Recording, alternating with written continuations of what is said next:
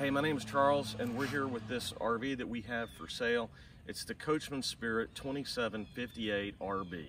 Now, the 2758, the way that Coachmen did these numbers is the 27 simply refers to the length of the box, and the 58 refers to the weight that the engineers planned the vehicle would weigh in hundreds of pounds. So they anticipated that it was going to weigh 5,800 pounds. Turns out that they actually weigh right at 6,000 pounds dry. So the current model years call them a 2760, although there's been no changes at all. The RB simply refers to the fact that the bathroom uh, is in the back of the unit. So we're going to start at the front. I'm going to show you a few things. First, you do have an automatic LCI jack here. It includes a light, so at night you can hit that on and you can help see what you're doing to unhook your, your tow vehicle. You also have two 20 pound propane bottles in here. You have the lift up so that you can see that you have the automatic transfer valve. So you normally, when you're camping, you're gonna open both of these valves, leave them open, point this to whichever canister you wanna use first. When it runs out, it's automatically gonna switch over to the other but this one's gonna turn red. So all you need to do then at that point is lift the cover off and take out the tank that's pointed red. Flip it back over and you're still camping. So when the propane runs out in the middle of the night, you won't know it. It'll automatically switch over. In the morning, you come out and check that valve. If it's red, it's time to either exchange a bottle, which you can do with the 20 pound. You can't do that with a 30 pound or you can just have the, the, the, the, bottle refilled at most any of your campgrounds. So we upgraded also to two 12 volt batteries. What that's gonna do for you is it's gonna increase the total number of amp hours that you have available, particularly if you're gonna dry camp or if you're gonna boondock. You know, let's say you're, you're taking a long trip, you wanna stop in a rest area somewhere um, and just spend the night there, get a little bit of sleep. You'll be just fine with two batteries. You can actually dry camp all weekend long, no problem. Got a battery disconnect switch there. It's the red box. You wanna always make sure you turn that off whenever you're storing the RV. A lot of the new RVs these days are not coming with those. They want you to manually disconnect the battery. We didn't want to do that, so we added the battery disconnect. So come on around here and we'll start at this end. So you've got your marker light here. All of the locks on this RV um, are RV locks uh, key to like. I have the old locks, so you can go with either way you want. I'll give them to you in a box and you can decide. Uh, but the standard locks that come on here, everybody that buys a travel trailer has the same exact key. Anybody in the campground can open up your unit. If you change the locks to the RV lock, you don't have that, you don't have that problem. Got a magnetic stop up here that keeps that locked up. And as soon as we open the compartment, a motion activated light comes on. In addition, you have a light switch here that if you flip that on, as you come in in the evening, you can provide additional light forward so that you can see what you're doing as you're working in the front of the coach. Or if you want a little extra light in the campground, uh, for some reason to the front of the coach, you can do that. So inside here, you have complete pass-through storage that goes all the way through underneath the bed. The bed also has storage underneath, but you also have this handy compartment up here. It's a fishing rod lo locker, a gun locker, whatever you want to use it for, but it is a little bit of space that would have otherwise been wasted that Coachmen has put that door in place for you. It does have solar prep, so all you have to do is get the external panel. We didn't do that. We doubled up the batteries, been more than enough for us. But if you want a boondock for an extended period of time, you can plug your solar panel right into the port here um, and, and have additional power. Got the awning, extends almost the entire length of, of the vehicle. Uh, it's very important. Some units these days, the awning isn't covering the entry door, and that is terrible. When it's raining at the campground and you need to let the dogs out for a few minutes or whatever, uh, having rain pour down on top of your entry door is, is a bad is a bad thing. Now, this this coach we also we upgraded and put a camera system on. You've got side cameras on both sides with IR. You also have an entry camera with a motion detector and an IR. And I'm gonna show you later on, um, probably either in the description or in some stills, I'll show you the monitor Um, there's a movable monitor that suction cups to your windshield and swings in front of your rearview mirror. Because once you hook up, your rearview mirror is useless. The only thing you're gonna see in your rearview mirror is the front of the, the cap of this coach, nothing else. So you swing that camera, of that screen to the rear view camera in front of your rear view mirror, it makes it very natural. Your side mirrors still work as always. If you want to use the side cameras, you can. But when you look up as you're driving down the road, you're going to see exactly what it is behind you. It's very, very, very helpful. At night, it's a, it's a wireless device. You just simply unhook that monitor, bring it into the coach with you, set it beside the bed. If there's motion or anything out here, that camera's going to activate and it has a microphone so you can see what's going on um, out here. As we come on down, as I talked about before, the, the RV locks, it's a, it's a keyless entry. Um, there's wireless fobs. Uh, in addition, you can punch in your code and hit lock or unlock and, and never be locked out of the coach. If the batteries go dead, no big deal. There is a key that you can use, um, but they're very energy efficient and the batteries don't go dead very often. This window on most RVs is a, uh, a frosted window that you can never see out. We thought that was a bad idea, so we upgraded it to a tinted window with a pull down shade um, on, on, the inside so you can see, see through. These coaches are built with composite boards. This is the Azdel composite board. Um, and what that does is if you have done any research on RVs, you'll see that delamination of this skin is a real problem. The other problem is the way they made them by, by rolling, putting them through a roller press on top of particle board. Um, they, they became very heavy.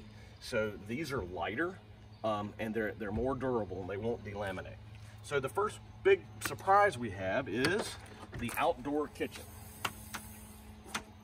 So in the outdoor kitchen, we have um, a refrigerator, it's a 110 electric only refrigerator, so it's only gonna work uh, when, when you're on hookups. You have a sink, drawers, cabinets, bottle opener, and a cooktop. So what we do with this cooktop a lot of times is we have a cast iron griddle that we will sit on here and, and use to do flat grilling outside. But you're not limited to that. Obviously, you can use it just as a regular cooktop.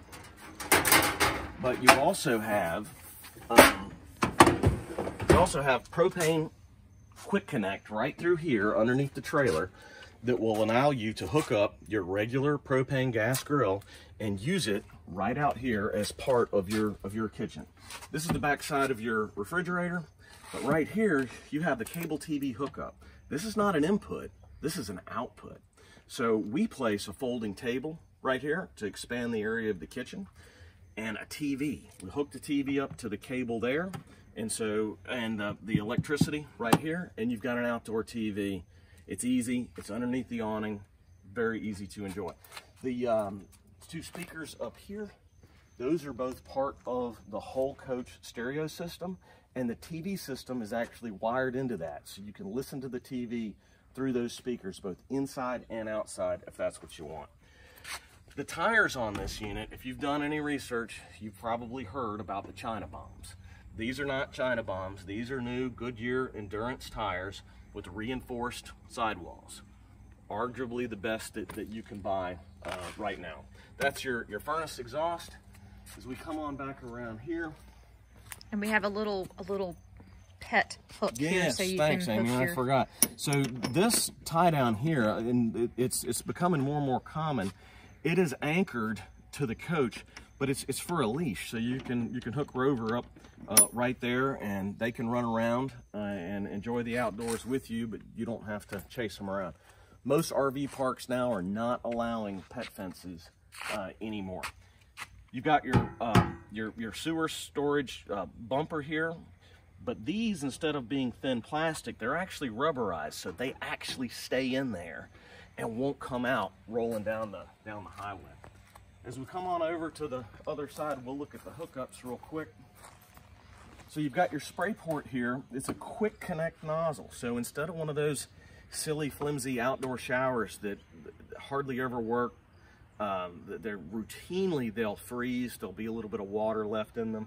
Um, they're difficult to, uh, they're, they're difficult to maintain. This is not. This gives you a sprayer port and you've actually got a, a coiled slinky uh, hose that you can use to clean off rover or clean up your hands after you've been over here working on this stuff. You got your city water connection, but also a black tank flush. So a lot of times in the ultralight lines of, of, of RVs, you're not gonna have a black tank flush. Trust me, you want a black tank flush. That's gonna spray water all inside your black tank, all down the sides. There are little spray nozzles in there and run it right out the hose so that it cleans the black tank for you. Got a six gallon hot water heater. It's electric and propane. You can use it on either mode, just electric or just propane.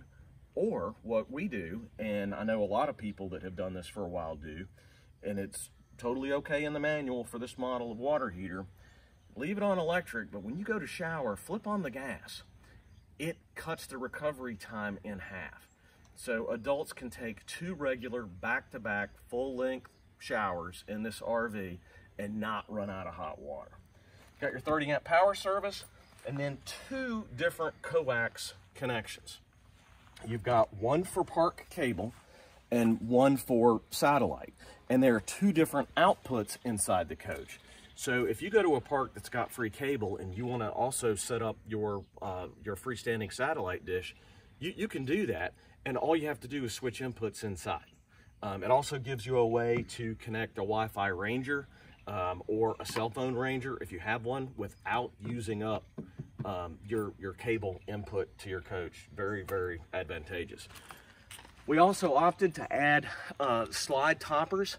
Uh, if you don't, they don't come this way from the factory. If you don't want to have to climb up on a ladder uh, to the top of your coach after camping at pretty much every site, and get the leaves and debris off the top of that thing, you'll want a slide topper. If you don't take them off and you put the slide in, whatever was on top of the slide is gonna wind up inside the coach um, once you bring the slide in. So you definitely want slide toppers. This one already has it. So we'll come on around this way. We're gonna go inside.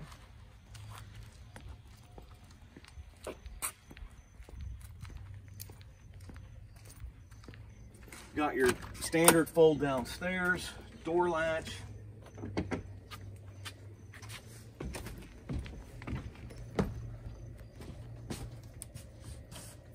So as soon as you come in here to the right, as soon as you come up, there's your control panel. So you can instantly turn on the lights, you can extend the awning, you can extend the slide. Everything can be done right here from where you enter the, the coach. This in most coaches this size, this would be a jackknife sofa. It is not. It is a full trifold sofa. So you have a bed that will extend all the way out to here and you can comfortably sleep two full grown individuals inside or, or on top of the trifold sofa. Lots of nice big windows. The, the dinette is a U-shaped dinette which expands your seating a little bit. It can be converted into a bed. Like most of these, the, the, the, the tabletop simply drops down, the cushions reconfigure, and it makes a flat sleeping surface. Not big enough for a, a, a full-size adult, but perfect for children um, uh, uh, that, that, you know are, are in the in the in the less than, than five and a half feet height range. Uh, underneath the dinette you do have storage that you can access both through the door and from under the kitchen, uh, from underneath the cushion. So you can you can do both, and there's storage all the way around under there. In the kitchen, well, first you do have the flat screen TV. It is on an articulating arm, and as I mentioned before, it is connected to the stereo. That's not true in most of these units and it becomes very difficult to hear uh, the television uh, when the air conditioner is on. All of your hookups are located right here, so you've got extra power, and both of those coax cable um, outputs from the other side of the coach come to right here. Additional storage up top. There's slide behind storage behind the TV. It gives you sort of a, a hidden cubby hole, if you will, to hide different items. There's the RV AC silencer, which we'll tell you about in a second. So to come on over, it's a Dometic refrigerator. It, it runs on both uh, uh, 110 electric or gas. So that's what we call a two-way fridge freezer. It's not a three-way. It doesn't doesn't run on 12 volts. Most of those don't actually work very well, um, but this one's got the got the two-way. It, it can work work either way. Got your on-off switch, and then you can force it to gas mode, or you can leave it on auto mode, and it'll automatically determine it'll say, hey, I'm hooked up to shore power. I don't need to use any propane. I'll just use the shore power. Once the shore power gets disconnected for whatever reason, the refrigerator knows that it's lost shore power and it'll automatically go into propane gas mode and keep your, your food cool. So for a coach this size, this is a pretty decent size refrigerator and freezer space. Um, the shelves can be adjusted both in the door and inside um, the, the refrigerator. I know a lot of people have talked about um, how long it takes them to get their fridge and freezer cold. We've never had any problem with really basically just a couple hours hooked up to shore power here at the house or turned on propane and it's cold enough to go ahead and load load food. Uh, in here you have your, your microwave oven, your hood that does vent to outside, your Furrion uh, uh, range top with the flip back glass, as well as And that's a three burner. an oven. Yes, this is a three burner. Um, a lot of them are only two, um, but you also have the oven. And I know a lot of people have said, well, you know, I'm not going to use the oven when I camp. Amy can tell you, she cooks all kinds of great things in this oven, and it's actually um, very even with its heating. It, it really, Yeah. really is. So we've added the, the Subway uh, tile backsplash. If you don't like this, it's not a big deal. It'll be very easy to remove it, and you'd be back to the same same color wall that, that's behind it. Um, a little bit of heat from a hair dryer, and just it'll it'll it'll come right off if you if you peel it back. Two cutting boards as part of your sink covers, and a double sink. This is really important uh, in an RV if you don't have uh, a dishwasher, which you're not going to see in a travel trailer this size. So you really need to be able to keep that stuff separate. You've got a pull down spray nozzle and a residential uh, style style faucet here. Lots of storage, long, long, deep drawers, and cabinets on both sides, so the full corner space is available uh, for you to store. The space up top, it's very well made. If you'll look at the back of these these doors, very thick with the sealant and the caulking for that that piece of glass. Um, check that on any other RV you look at, and you'll find that oftentimes it's it's fairly fairly thin. We've got a full pantry's worth of storage here. Upper and lower. And then in the bathroom, this is the great thing. Normally in a travel trailer this size, if you're a big guy, uh, you're not going to be able to take a real shower. Here, you're going to be able to. Look at this thing. It's 50, it's 50 inches long. I am a fraction of an inch underneath six feet tall. And I still, under the skylight, have that much room. Not under the skylight, I have that much room. You've got a residential style uh, shower head that's adjustable. It's not one of those tiny plastic things that barely spits the water out. If you set this thing wide open, it'll give you a, a, a real shower. And a seat. And a seat. And the ladies like that in particular for shaving legs and whatever. Uh, in this RV, you have two fantastic vents. So one back here and one at the front of the unit. Those are controlled by remote. So for people that are that are vertically challenged, they don't have to climb up on anything to Like me. use that that little opener. Um, and there's a thermostat on each one of those fantastic vents, so you can set that thermostat to whatever temperature you want the vent to cut on at.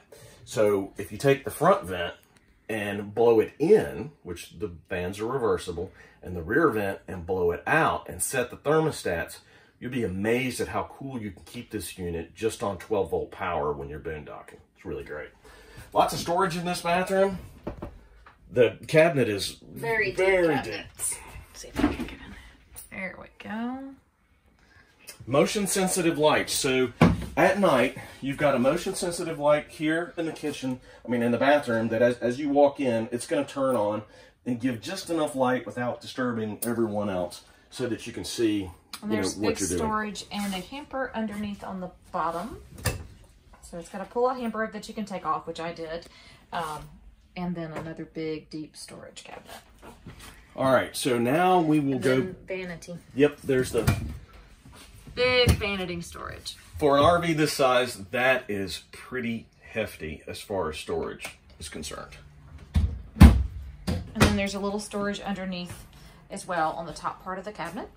Speakers mounted above, and the RV AC silencer. So if you've been in some of these RVs, when that AC cuts on, it's loud.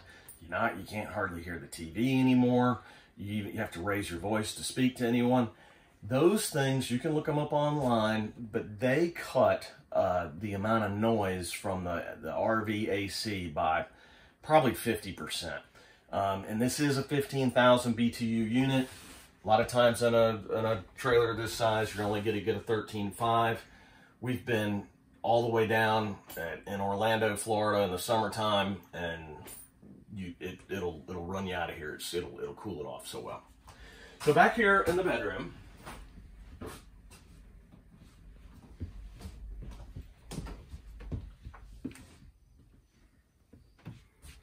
all right, we have a standard size queen bed as opposed to an RV queen, which would be about this Yeah, this much. is a real 60 by 80 queen. Yep. So you can put a standard queen mattress topper on here, which is what we had done, um, and it it it sleeps just like like a regular bed. For people that think, well, maybe I want you know a king bed instead. One, it's going to be very difficult to do that in this size um, of an RV that you can pull behind a light truck or an SUV. And the second thing is that having these sides here, believe it or not, greatly expands the sleeping area of the bed. Normally, you wouldn't sleep all the way over on one side or roll all the way over, but with this here, um, we actually have more space between us here than we do in our regular queen in the house. You've got individual controllable lights here and speakers up top. And a shelf that you can put a book or plop your cell phone or whatever.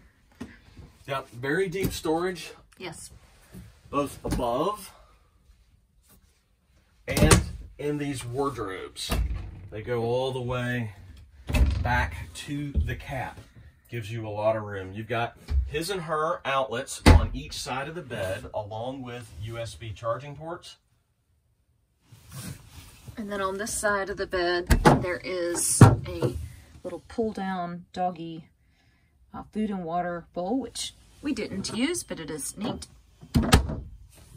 And also, we opted for the television in the bedroom. Um, so it's also connected to the cable system in the RV. It's on an articulating arm, and you can adjust it um, however you'd like. So if you have any questions, uh, feel free to send us a message. Um, it's This is on Facebook Marketplace, um, and it's on rvtrader.com. I don't think it's going to last very long uh, with the, the market the way that it is right now. Uh, but again, if you have any questions, send us a message and we'll do our very best to get them answered for you. Thanks.